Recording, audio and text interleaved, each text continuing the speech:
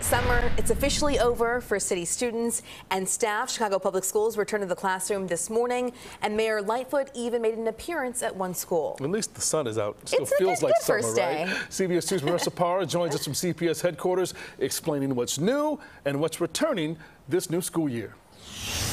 Yeah, for starters, CTA Metra PACE, all of them making transportation free for all students K through 12, as well as any adults that might be riding with them.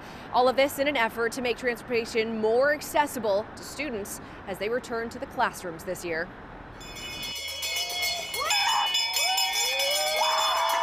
That's the mayor officially welcoming the first day of the 2022 school year. She was joined at Falconer Elementary by CPS CEO Pedro Martinez. Now, this year, COVID, security, and staffing are the big school headlines. We've talked about issues filling staffing at Chicago Public Schools for a while now, and the bus driver positions are no different.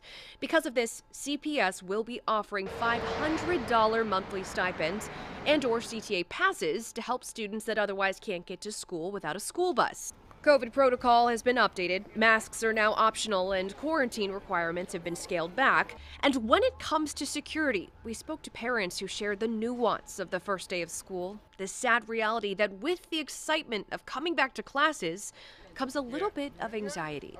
It gets a little emotional to dropping them off the first day of school and make sure that everything goes well for them. with the things that are going on, you know, shootings and all that. It's just, I don't know.